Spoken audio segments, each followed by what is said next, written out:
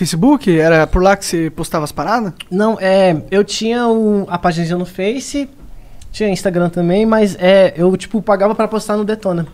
Porque você antigamente podia pagar pra postar nas páginas. Acho que algumas ainda pode. E aí, tipo.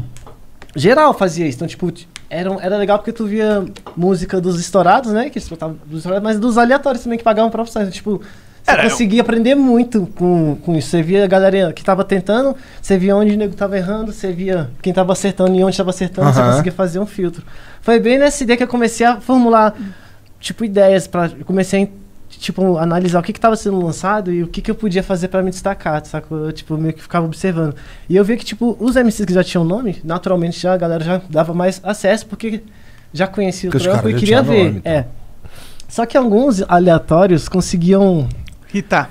hitar com, às vezes, nem não hitava, mas tipo, gerava um- um- uma quantidade a mais de view porque colocava um nome estranho na música, tá ligado? Um nome curioso. Ah. Foi aí que um dia eu tava na rodoviária esperando o baú pra voltar pra casa do trampo, eu pensando em nome, vai, do nada Harry Potter veio na minha mente. Porque eu brincava muito de Harry Potter na infância com os brothers. Nós Aham. Pegava os. os, os- os Ficava batendo, fazendo de- guerra de varinha com os amigos? Não,